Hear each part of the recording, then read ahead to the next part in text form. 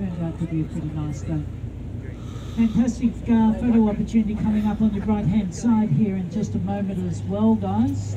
Looking back onto the skyline of Surfers Paradise. Any sunscreen over here? You're all sorted? Alrighty, now we've got a home that's just been demolished over here, guys. This is Paradise Waters. You see the excavator sitting there. This home here was uh, a lovely looking home as well, guys. Look at the uh, two homes either side of it. That's what this home looked like. Now, uh, they've just demolished it. Now, they paid 5.5 million for it and they did a renovation there as well and they weren't happy with the renovation and they just never ever felt comfortable in the home so they've knocked it down. How do i know that?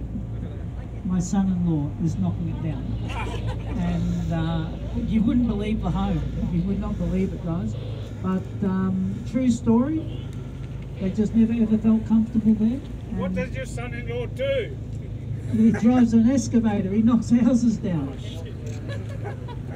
The um, now this uh, again is Paradise Waters here, guys. Quite an exclusive address also, and you can see the further we get away from Chevron Island, the architecture is changing all the time. This big three-story grey and white home here, someone that you would have heard of before, Ian Thorpe's old home, and uh, you would have seen Ian Thorpe back in the day doing laps up and down the lap pool.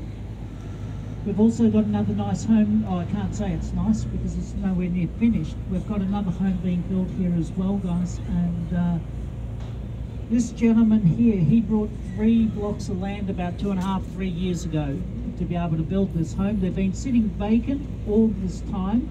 They've just started to build here. He paid a total of 9.2 million for all three blocks, and uh, so it'll be interesting watching this property come to life over the next uh, 12 months or more.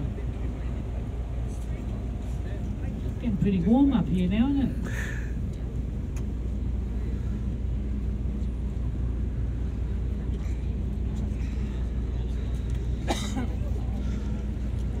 TSS over on your left hand side, the Southport School. What a beautiful school it is as well, guys. Check out the beautiful clock tower.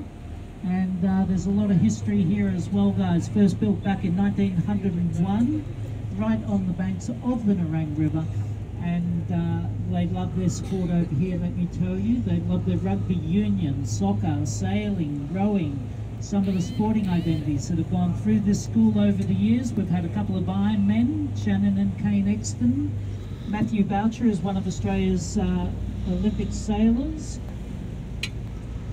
And uh, who else have we had? Former world number one golfer Adam Scott went there, and we've even had former Queensland Premier, Rob Borbidge.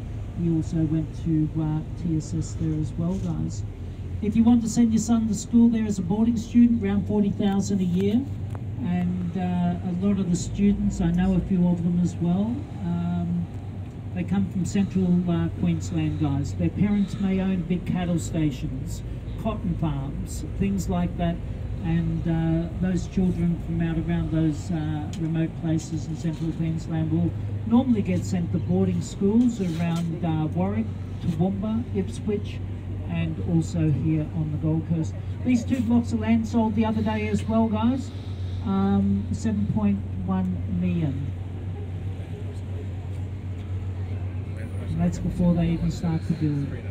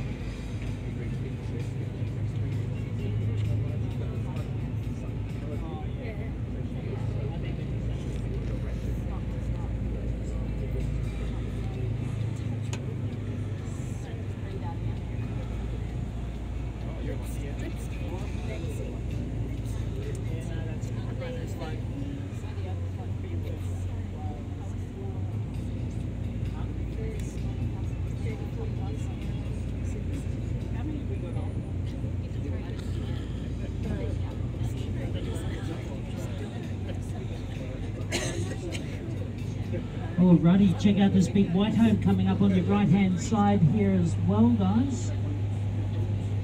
They have their own helipad. How cool's that? It's pretty cool. If you have a look over the top of the helipad, in underneath the balcony, they also have their own cannon. Wow. That's pretty cool.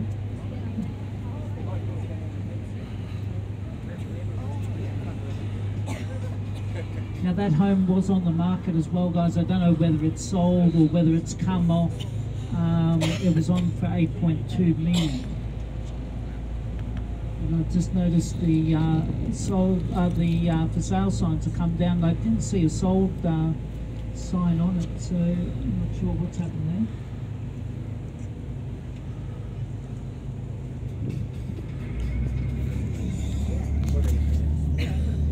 Also, uh, at the moment, we're heading downstream in the Nerang River as well, guys. Uh, once we get to the Sundale Bridge, we will have um, left the Nerang River and we will have entered into uh, the Gold Coast Broadwater.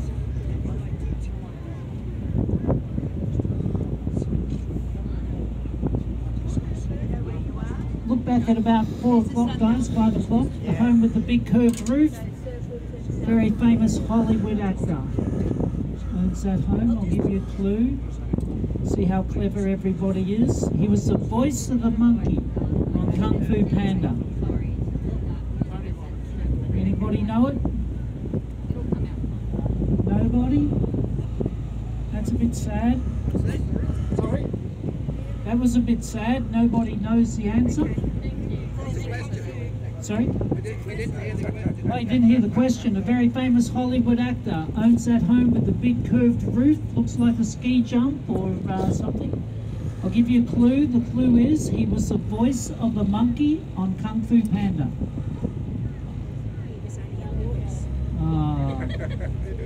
the prize was a week's holiday at the uh, Mantra as well. We're going to have to keep that. Jackie Chan. I just said that. Did you hear me?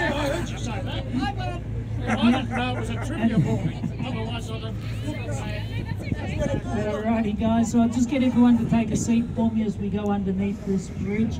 But Jackie Chan's holiday home, and quite an interesting story, Jackie Chan's as well, with his parents migrating to Australia here. They live in Canberra. Again, guys, please don't reach up and uh, try and touch this bridge as we go underneath it. It is the Sundale Bridge, and uh, once we've passed under here, we'll be in uh, the Gold Coast Broadwater.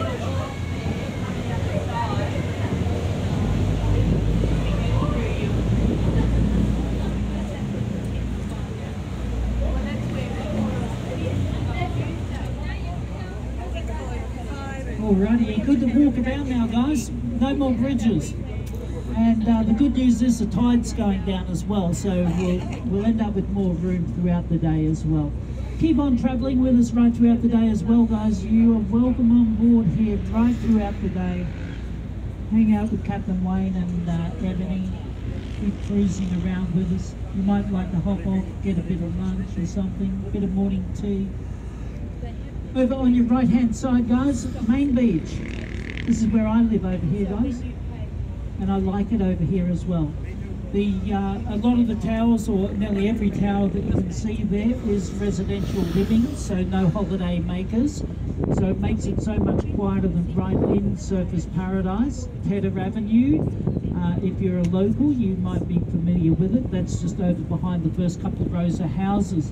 It's a very trendy little street. It has a lovely village type atmosphere to it uh, some great restaurants over there, cafes. The Gold Coast Best Bakery is over there as well.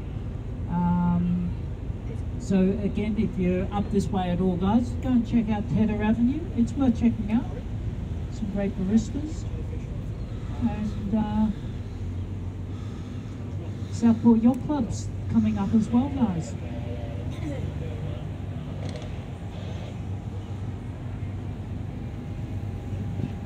Can you just check what they? Yeah, just give them a call. Who was it? Uh, as Latrell. Alrighty, we've got some earthworks happening over here as well, guys. And uh, Southport Yacht Club is your premier yacht club here on the Gold Coast, and uh, they're celebrating 75 years here on the Gold Coast as well. Now the super yacht industry, guys, is huge, but we don't see the big super yachts coming into uh, the Gold Coast here because there's nowhere that can accommodate them. This yacht here, that's uh, about as big as we can accommodate. The Southport Yacht Club have received the government grant to uh, put in a big super yacht berth here, guys, and uh, you can see the length of it. That'll give you an idea of the length of super yacht that will now be able to come into the Gold Coast here. So uh, that's pretty exciting.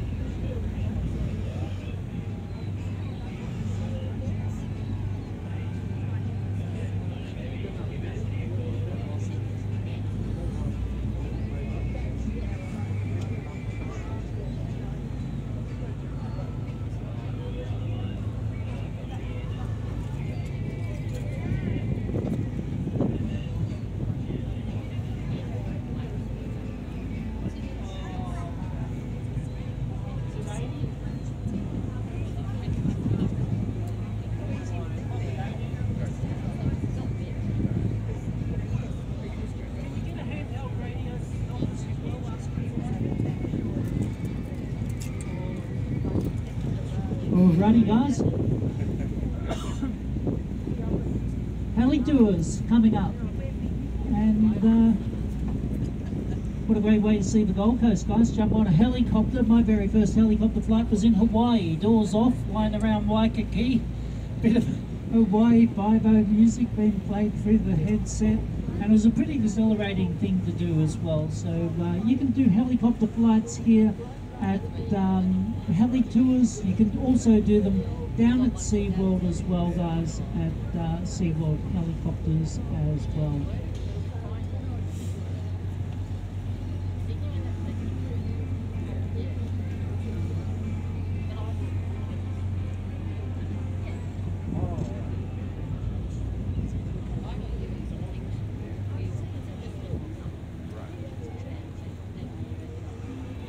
Alrighty, a little bit of trivia for you guys. We've got the little floating uh, chapel here. If you were on the other Hoppo ferry at all today, and there's a Chinese, uh, Chinese, uh, you'll kill me for that, the um, a Japanese gentleman on there, Tomo, he's on the other Hoppo ferry today, if you're on it. Uh, he got married on this floating chapel 17 years ago, guys. He's an ex-world champion wakeboarder and uh, he had the chapel uh, taken to his favourite destination here on the Gold Coast, and uh, his wife is also from Japan. She was waiting on board with their guests for Tomo to turn up, and they thought he was coming on a gondola. He wakeboarded to this thing in a tuxedo, and he landed on there without getting wet, that's a true story. He's on the other ferry today, guys. Pretty cool thing to do. Uh, okay, ask him about it, guys. Is that the other ferry in front of us? Uh, yeah, this is uh, the the other ferry in front of us here now, guys. This is the proper Hoppo ferry So that's wasn't behind us. service. Obviously, uh, few people waiting here as well. Is a whiteboard? Oh, wakeboard. It's um, it's sort of exactly the same as uh, it's like a surfboard except you're skiing on it. So if you know what I mean. Oh no, no, it's just it's like a single ski but it's bigger. Yeah, like wider. Yeah, yeah, like a snowboard, like a snowboard. Good description from my friend down on the front deck there. Uh, what else can I tell you guys while we're waiting? Wow, look at the people up here. Uh, Marina Mirage guys, that is the next stop here. Anyone hopping on? Oh yeah, got some people hopping on. Um, just while we're waiting here, Marina Mirage there, guys.